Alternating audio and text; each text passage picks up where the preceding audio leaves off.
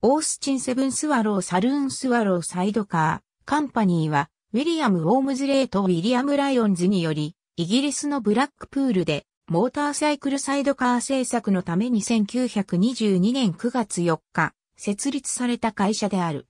ライオンズは1921年、20歳の時に、ウォームズレートで会い、彼のサイドカー製作に見せられていた。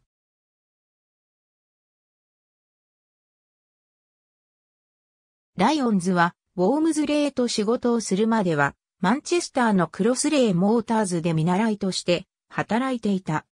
1926年、会社は乗用車のコーチワークを行うようになり、スワローサイドカーコーチビルディングカンパニーと社名を変更。最初に行ったのは、タルボットのボディを彼らのボディで乗せ替える仕事だった。これが評判となり、自信をつけ、その後は主にオースチン7、他にフィアット、スタンダード、スイフトなどを手掛けるようになる。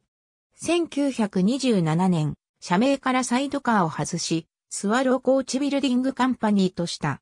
ビジネスが軌道に乗り、依頼を受ける企業からもっと近くへ来るよう要請され、1928年、英国自動車業界の中心地、コベントリーへ移転した。会社は成長を続け、1929年にはロンドンモーターショーに出展することができる企業となった。1933年にはスタンダードにシャジーの専用設計を依頼し製造させ、それに仮装した SS1 と SS2 を発表した。これがきっかけとなり、1934年社名を SS カーズとした。ウォームズレイはこの直前に引退。戦後1945年にはジャガーとなった。その間の1935年に、サイドカー生産は、バーミンガム、アルビオンロードに子会社を置き、スワローコーチビルディングカンパニーリミテッドとして行うようになった。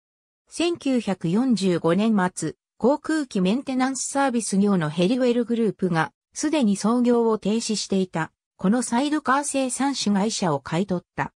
ヘリウェルは、ウォルソール空港の自社の作業場で、スワローが行っていた従来通りのやり方で生産を続け、また、商標も同じものを使い、スワロードレッティとして販売した。この生産は1950年後半に終了している。ありがとうございます。